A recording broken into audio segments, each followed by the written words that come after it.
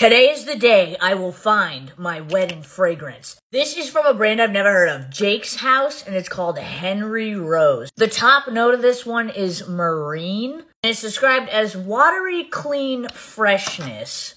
All right, I'm gonna spray some on this arm. Whoa!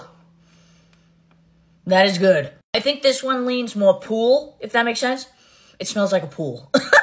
like I'm not mad about it. Like I like it a lot. I love that smell. I actually think I like this one the most so far, which is kind of unexpected. This one I am excited about. It's called Salt by Ellis Brooklyn. It's described as salty skin in the heat of the sun. And also the bottle is just really beautiful. Something blue.